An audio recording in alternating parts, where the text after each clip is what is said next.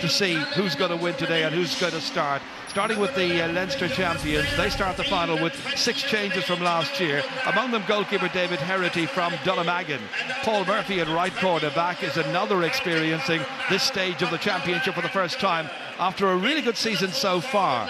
Team captain Brian Hogan had the misfortune to miss last year's classic final through injury. Today he lines up as usual at centre half back. Michael Fennelly in midfield has been having his best season at this level. He's listed to start with Michael Rice, who was a sub last year. Eddie Brennan is programmed to start on the wing in a line which includes Richie Power and Henry Shefflin. And up front, Colin Fennelly, who might well be switched, partners Eoin Larkin and Richie Hogan. As you say alongside me here is Michael Duignan. Who do you want to focus on, Michael? Well, Michael Fennelly to me has been key for Kilkenny this year. Um, outstanding athlete. I think the way they have to play today, he's going to have to drop back, help the half back line um, and the full back line, but also get forward. And he's, you know, averaging two or three points a game as well. So to me, he's a key man for Kilkenny today. Well, then about uh, Tipperary, the defending champions, with goalkeeper Brendan Cummins set to start his 67th championship match. What a goalkeeper he has been down the years. The full back line shows Paul Curran lining up with Paddy Stapleton and Michael Cahill. And then in front of them is an All-Ireland final newcomer in John O'Keefe, while on the other flank, uh, a possible hurler of the year, of course, in Pádraig Maher. Shane McGrath plays centre field for the third year in a row, this time with Gearóid Ryan in tandem. Tip have resisted making change of the half forward line with Seamus Callanan replaced against Dublin at half time, starting once again. And in the full forward line, team captain Eoin Kelly carries much of the threat, along with last year's top performer. That's uh, corner forward, Lar Corbett. Michael, your thoughts? Well, Pádraig Maher, the left half back for Tipperary, to me has been the key man this year. Um, he was outstanding all year, but the last day against Dublin, Dublin chose not to puck any ball in the whole game out his wing, but he still exerted a huge influence on the game. Ended up scoring two points from play, and I think you know you'll see Kilkenny today trying to puck the ball down on top of John O'Keefe and probably Henry Shefflin, and trying to keep Pádraig Maher out of the game because he is a huge, huge influence on this Tipperary team. Thanks indeed, Michael. Well, will it be two in a row for Tipperary, or will the Cats extract their own retribution? They're the Just listen to the cheer. Kilkenny won by five points in 2009, tipped by eight last September. And many are now seeing this final as a decider in a best of three. The match referee is Brian Gavin from Clara in County Offaly. His first All-Ireland final gets underway. It's the 123rd. So will it be a blue and gold year? Or will it be black and amber once again? On as far as Colin Fennelly from the pass by Richie Power. Trying to cut it out here, Paul Curran. Hand passing it snappily there into the middle, into Gearóid Ryan to get it downfield, but only as far as the Kilkenny 65 metre line. Meeting it there was Michael Rice, sending it back in once again, in towards Eoin Larkin, who started at full forward. Questions about that were being asked beforehand. Out once again, it comes via Conor O'Mahony. Out into the centre. Once again taken up here by Kilkenny, this time by Michael Fennelly, about whom there was a slight doubt this morning. Usual rumours going, doing the business. That's out as far as Henry Shefflin, trying to get the opening score for Kilkenny here, being bottled up there by Tipperary. Two men go out to him. Eventually, it comes out here towards Colin Fennelly. Fennelly going forward, and the referee has blown his whistle. It's going to be a free in. Or is that going to be the case? Yes, uh, the referee signalling that it's going to be a free. Yeah, just looking at the Kilkenny backline there, Tommy Walsh picked up Larry Corbett from the throw in, but he's now after coming back out onto the wing, and Brian Hogan has gone back in on him. JJ Delaney has gone on the other wing, and Jackie Tyrrell's at centre back. Oh, Jackie Tyrrell's on Larry Corbett, sorry. They're that moving was, all over the place. That was yeah. going to be the big question, wasn't it? Yeah. Who was going to pick up Lar? Well, Jackie, Jackie is on him. Tommy Walsh is back out on the wing. He was in, in the corner and they're all moving all over the place. That was rumoured, Michael. Here's Henry Shefflin from 30 metres out. Straight as it possibly could be, over the bar. He gets the opening score from the free there. Some of the fans who've been well and truly drenched from the earlier showers. Yeah, Rain is easing a bit now. It's the first time I can remember the floodlights been on here, Michael, for an All-Ireland final. We've John O'Brien at wing forward, Seamus Callanan in the corner, Eoin Kelly's full, so positions again not mean anything except that Bonner Maher is on Tommy Walsh. That's pucked out there, inside towards John O'Brien, the man you were talking about. Trying to get him back into the middle there, looking for Shane McGrath. Runs back again towards Lar Corbett. Almost on the sideline, and the uh, linesman over there, who's Barry Kelly, raises his flag. Lar had stepped out. It's got to be a line ball for Kilkenny. Kilkenny won the toss and have opted to play from left to right in the first half. Let's watch it again here. Lar just running out of space. Very judicious shoulder coming in as well, helping him out. As regards the breeze, well, because of the rain, the breeze has died down quite significantly. Really is no wind around. Into the middle it comes here. Should have been taken by Shane McGrath, picked up instead by Eddie Brennan. Sent in well towards Larkin. Eoin Larkin stealing a march on his man. Larkin, what a good dispossession there. Michael Cahill came across. Comes out towards John O'Keefe. Challenge there once again by Henry Shefflin. A really good opportunity and a wonderful piece of defending. Absolutely, and Gerald, crucially, Eddie, Eddie Brennan, I'm surprised, you know, 33 years of age to start playing for, but look at Michael Cahill coming across there. And I've heard people in the build up to the game talking about maybe Michael Cahill not being as good as last year, but I think he's vital. He's carrying an injury into the game, but I think he's a vital cog in that Tipperary full back line, and you saw it there. Yeah, he got a, an ankle injury in training during the week. Pass fit to play, however. Brendan Cummins taking this free. Big one down towards Lar Corbett, runs on beyond him. Going in to collect it is Brian Hogan under a little bit of pressure helped out by Michael Fennelly. Huge one, 60 metres way down the park once again. Coming out to collect it, Eoin Larkin. He's got a couple of possessions. Looks at the target, fires it over his left shoulder and puts it over the bar. First point to come from play. Second for Kilkenny. They've made a very good start. To have Journey see there, Michael Fennelly picking up a ball just about 40 yards from his own goal, dropping back, helping the half back line. And Eoin Larkin is causing Paul Curran all sorts of troubles. And as I was just saying there, Eddie Brennan at 33 out on Pádraig Maher, um, you know, a man with a fantastic record in Ireland finds and he looks up for it as well. And Kilkenny have made a great start. It's been a very good week for him. His wife gave birth to baby Harry during the week, so well done to Eddie Brennan. Congratulations to the Brennan family. And he's in the starting 15 as well. Right now it's Tipperary with Garrow O'Brien trying to take ball out of the uh, tip half of the field, trying to make some headway here. Well defended once again. Michael Rice this time sending it back up towards Colin Fennelly, losing it. Michael Cahill coming back out. Michael Rice raising the stick for it, but runs on towards Noel McGrath, slipping the hand pass across there. Helped on by Shane McGrath. Down into the corner towards the captain. Can't get there.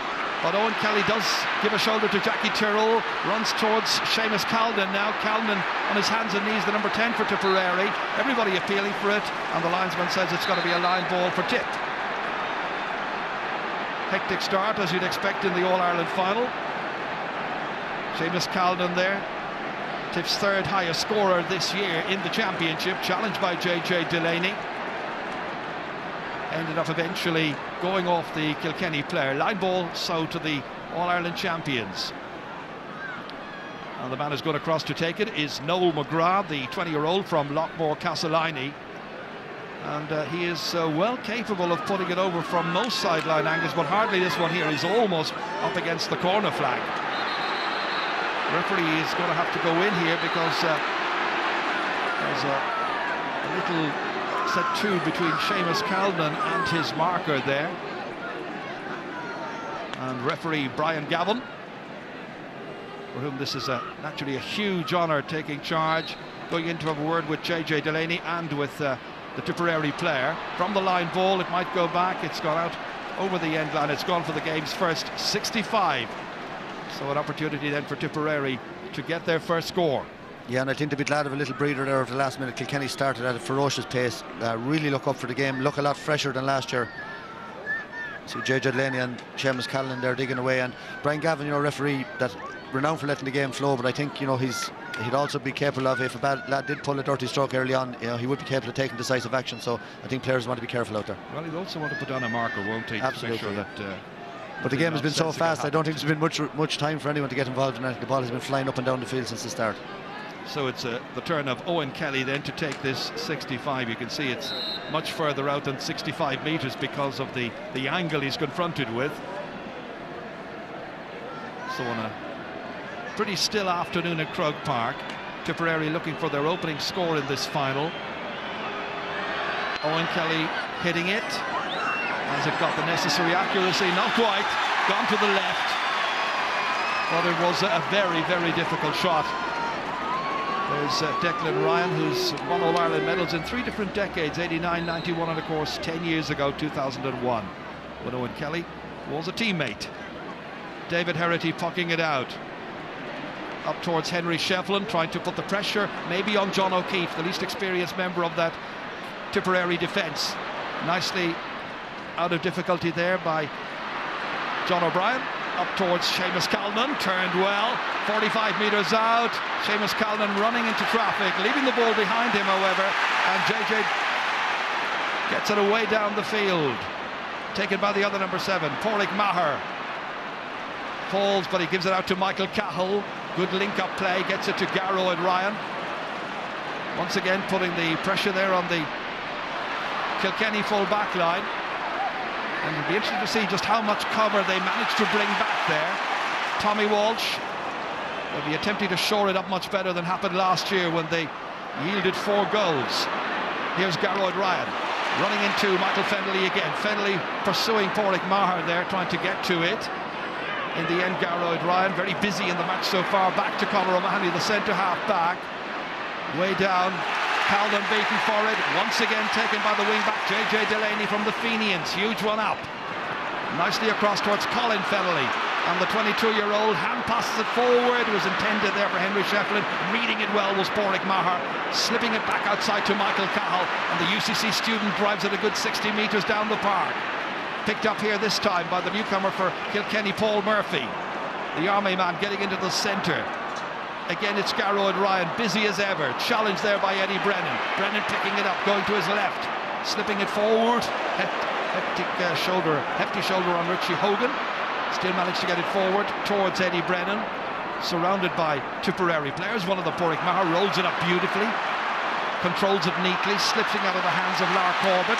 Bouncing back to Brian Hogan, who's the Kilkenny captain, of course. This time picking it up very, very low there and doing well is Paul Curran. And the Mullinahone man needing John O'Keefe alongside him just to complete the clearance. Early stages of this final, it's going to drop down there between Tommy Walsh and Patrick, Patrick Maher. Watch for that duel. Comes back out to Gearóid Ryan again. Looks neat. It's going to drop short. Goalkeeper under pressure. Player in the square. And it's going to be a free out. Well, Jared, the big difference I see so far is Kilkenny forwards are working so hard. Colin Fennelly's pace, that's why he was so important. He's causing havoc. They're tackling very hard, and Tipperary have been forced to play high ball into the forward line. Last year, you saw them playing low ball into space. This year, they've been hurried, and Brian Hogan is sitting right back in front, moving back and covering for his full back line. And at the moment, all the Kilkenny backs are well on top of the tip forwards.